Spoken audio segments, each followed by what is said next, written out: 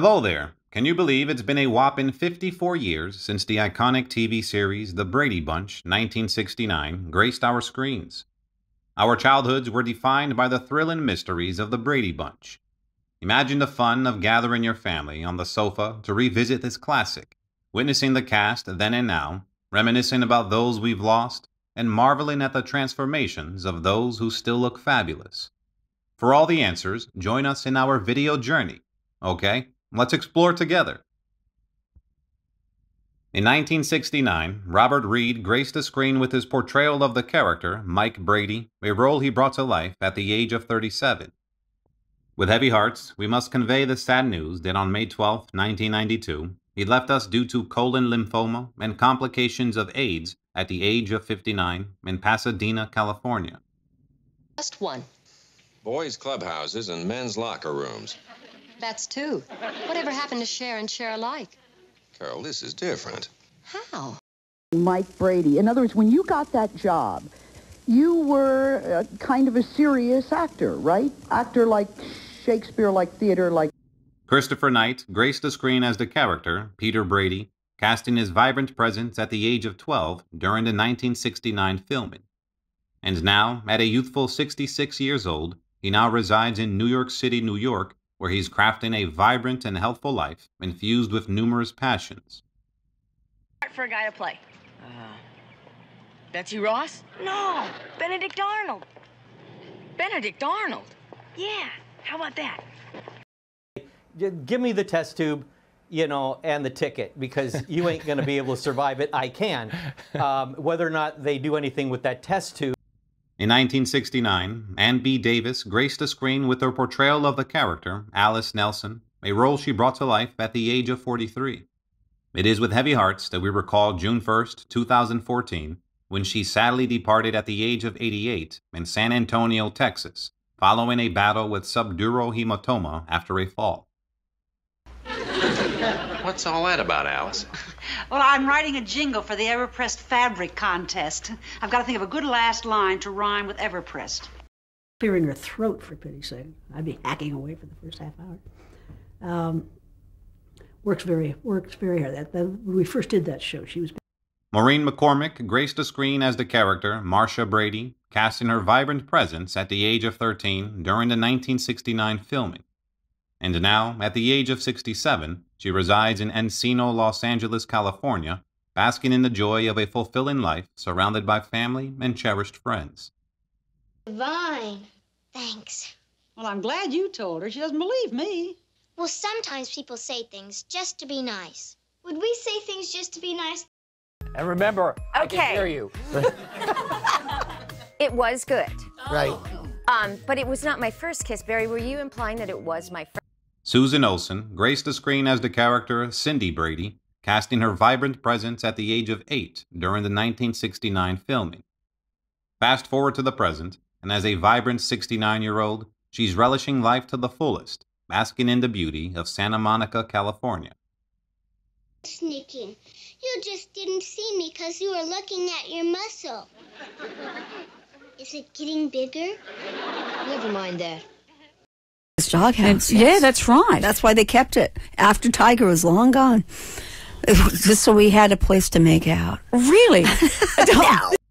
Florence Henderson graced the screen as the character Carol Brady, casting her vibrant presence at the age of 35 during the 1969 filming.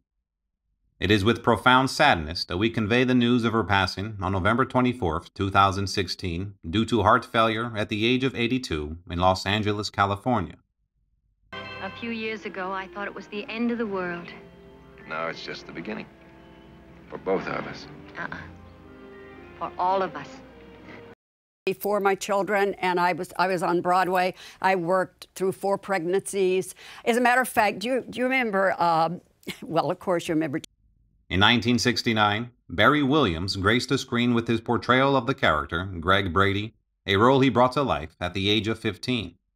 And now, at the age of 69, he resides in Santa Monica, California, basking in the joy of a fulfilling life surrounded by family and cherished friends. Gray Brady. What do I want your name for? That's not. there. Uh, I went with my family and my lovely wife Tina and son, my six, then 16 year old son to watch the Yankees.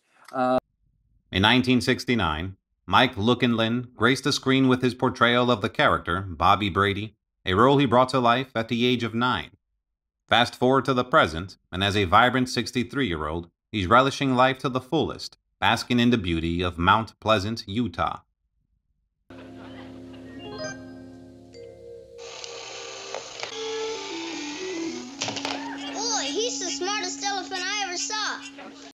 Much more real could you be than, than making slabs of concrete?